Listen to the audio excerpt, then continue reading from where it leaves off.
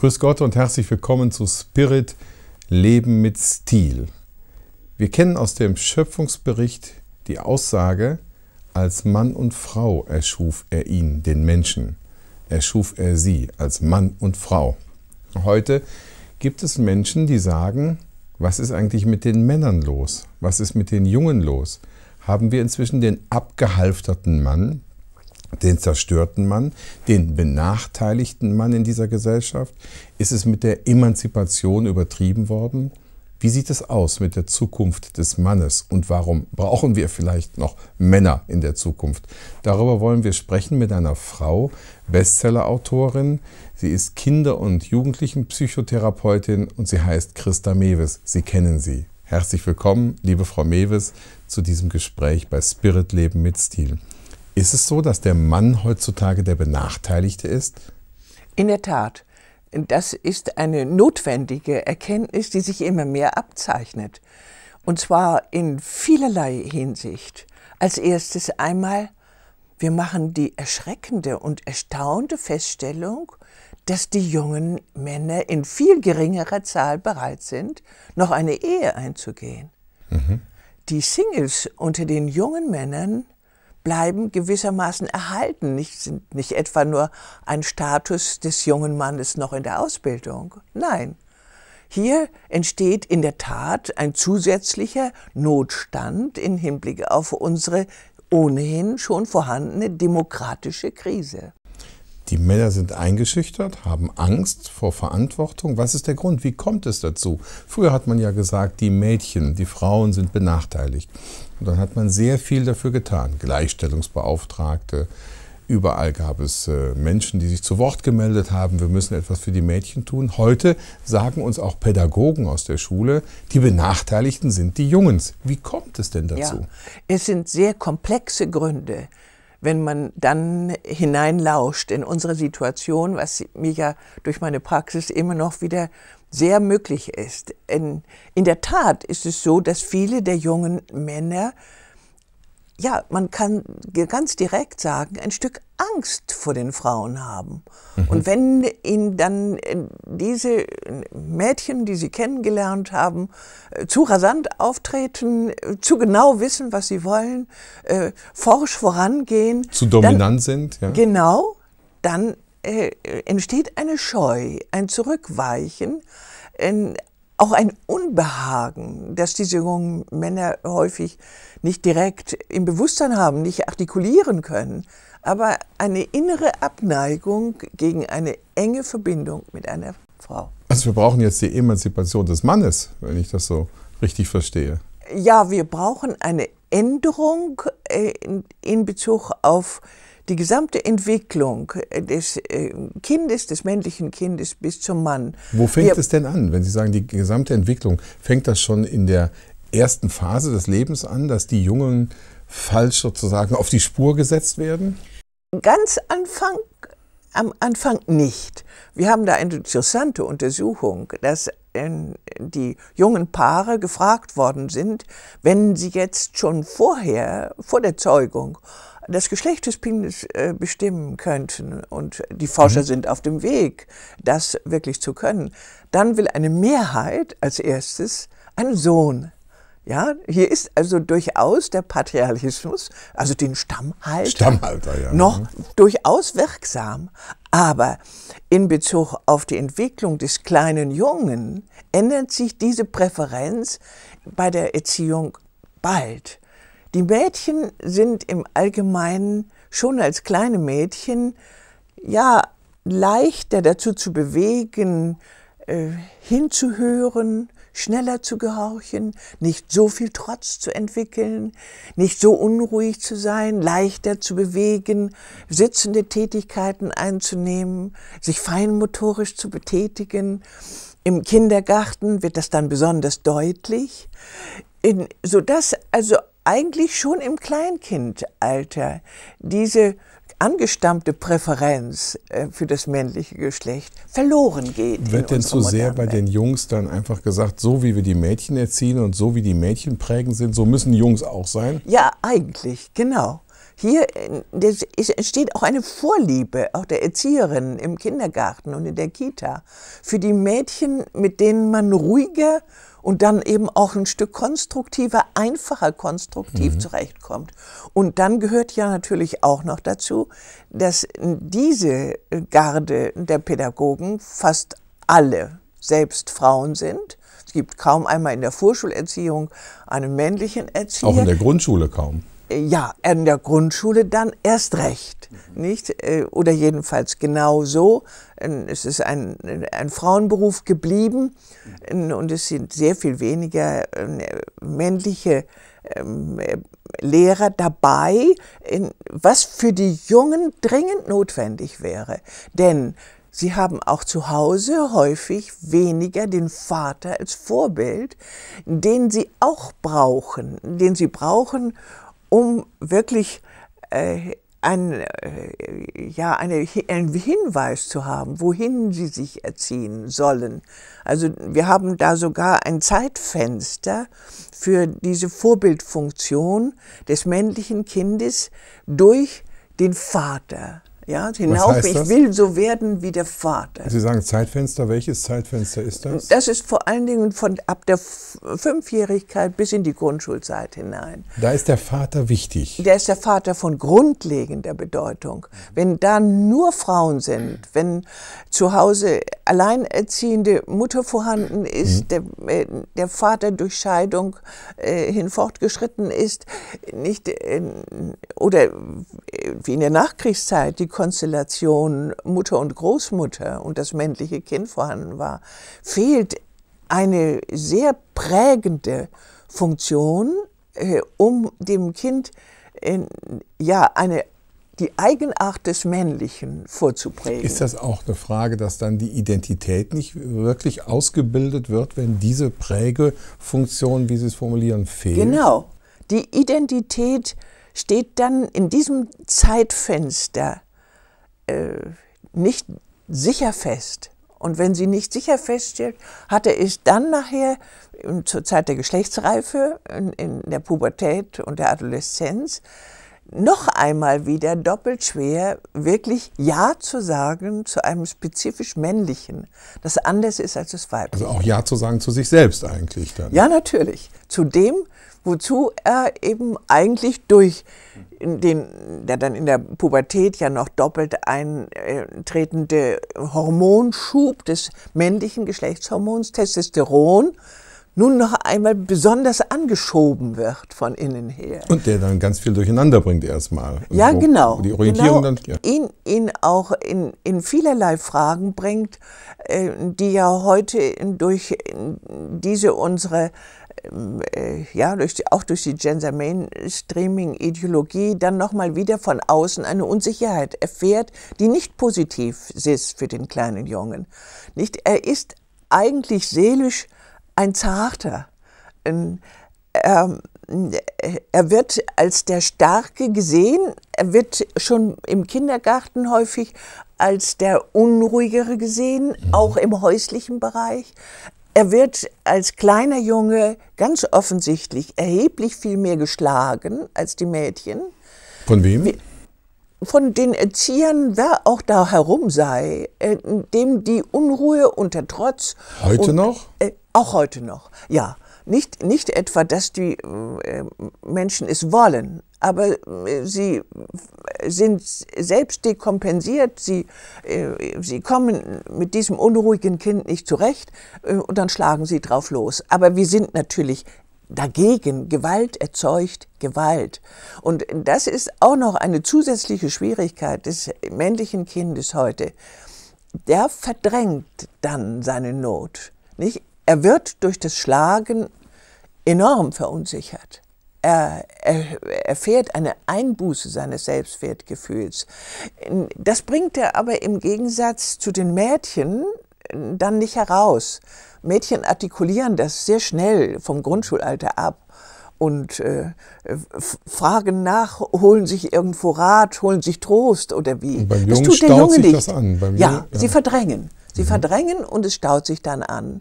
Nicht? Und die Gefahr, dass es dann sehr viel leichter im Erwachsenenalter zu Dekompensationen der gestauten Wut kommt, ja, die ist sehr groß. Wir haben ja unter den Mördern die schreckliche ähm, Zahl von 99 zu 1 zugunsten des männlichen Geschlechts.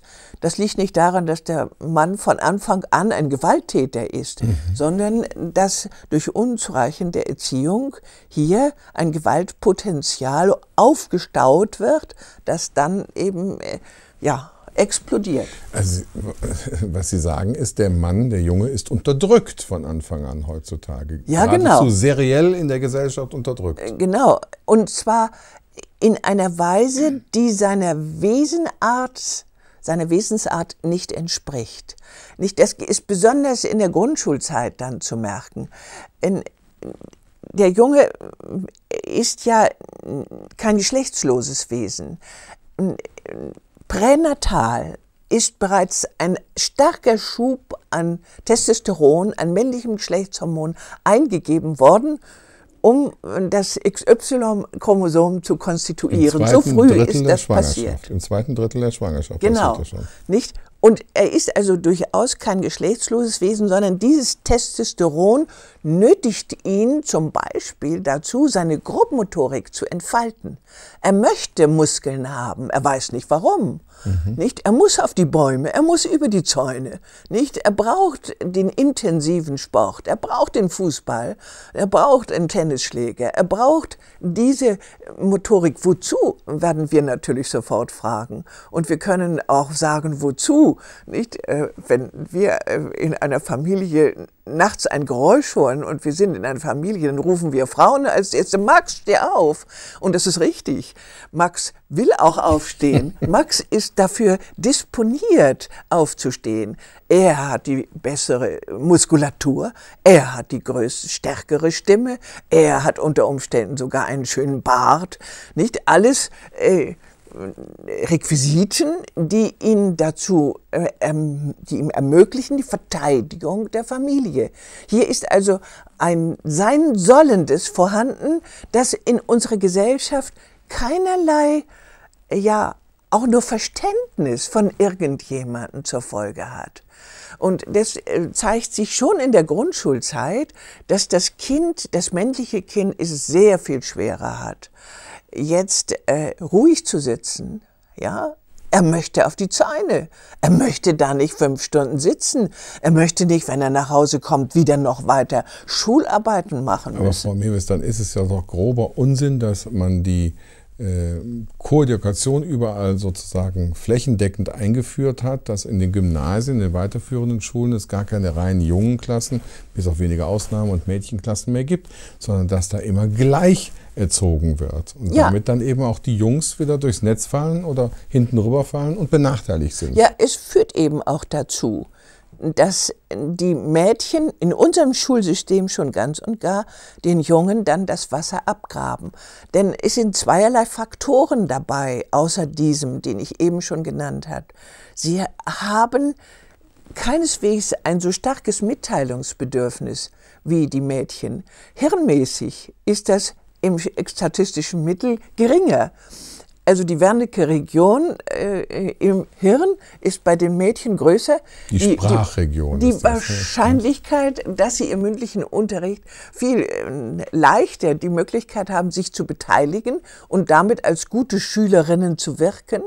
Die Möglichkeit, sehr hellhörig aufzupassen, was der Lehrer nun eigentlich von ihnen will und erwartet in der nächsten Klassenarbeit, ist bei den Mädchen wesentlich mehr angelegt in ihrer Feinheit in Bezug auf das Hinhören.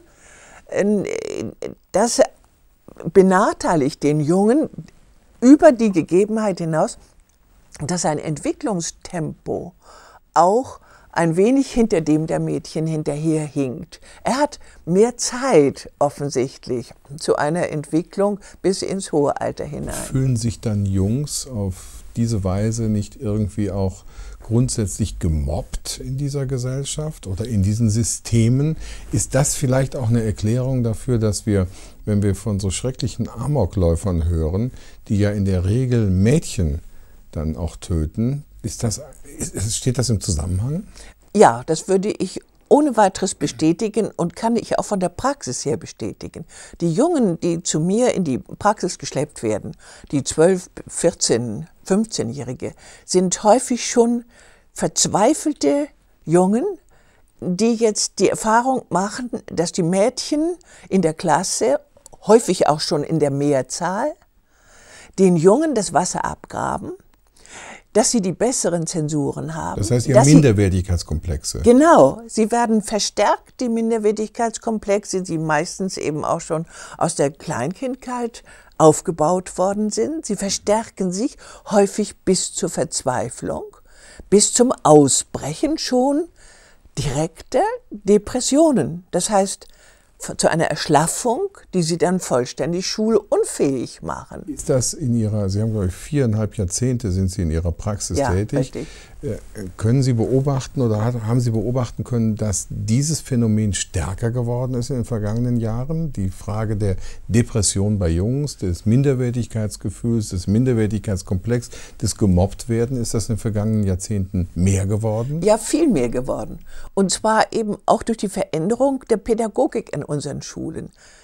In der alten Schule ging es vor allen Dingen darum, wie viele Klassenarbeiten der Mensch in welcher Weise bestanden hatte. Danach, das zählten die Lehrer hinterher zusammen und daraus resultierte die Zensur. Mhm. Mhm. Und das ist heute eben nicht mehr der Fall. Nicht der mündliche Unterricht gilt viel mehr in, in die Beteiligung, in die, äh, die Bereitschaft zur kreativen Mitarbeit, des äh, Doing per Learning oder Learning per Doing. Äh, nicht die, äh, das ist, äh, wir haben eine völlig andere Pädagogik bekommen, die aber auch die Präferenz der Mädchen betont und die Dominanz der Mädchen betont. Und ich stimme Ihnen voll zu, wenn Sie sagen, äh, ist hier nicht sogar eine Beziehung zu diesen Verzweiflungstaten?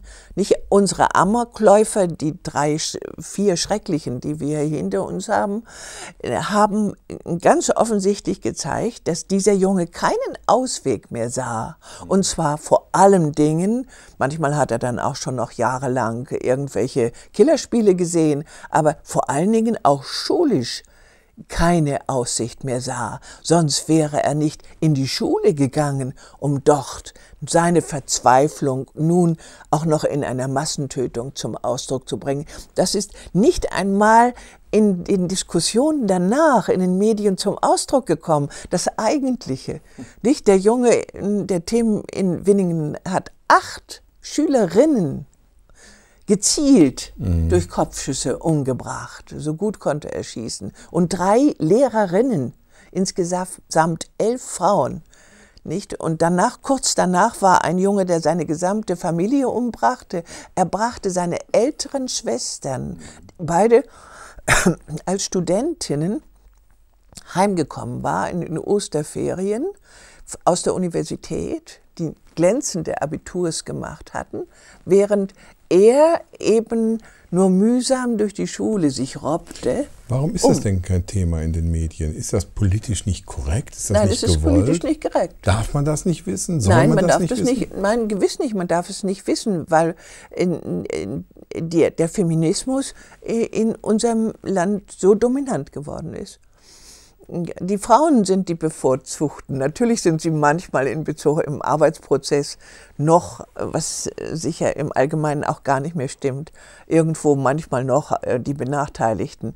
Aber sie sind in, in der Einstellung der Menschen äh, oder der Gesellschaft zur Frau äh, in einer Weise in den Vordergrund gesteht, die durchaus eine destruktive Note hat eine für uns alle gefährliche Note, auch für uns Frauen, nicht nur für die Männer selbst. Das heißt aber, es wird höchste Zeit, dass man sozusagen dieses Ungleichgewicht, was wir haben, früher musste man die Frauen fördern, das war notwendig, weil sie sich wahrscheinlich auch unterdrückt fühlten und auch unterdrückt waren in vielen Bereichen. Jetzt hat man es übertrieben, so höre ich Sie jetzt. Und jetzt ja. muss man dafür sorgen, dass man endlich wieder was für die Jungs tut. Aber gewiss doch. Vor allen Dingen eine angemessene Schulform. Sie ist nicht angemessen. Es ist äh, deswegen nicht angemessen, weil nun zum Beispiel in der Konkurrenz zu den Mädchen, wie gesagt, in der Quantität, meistens jetzt auch schon dominieren.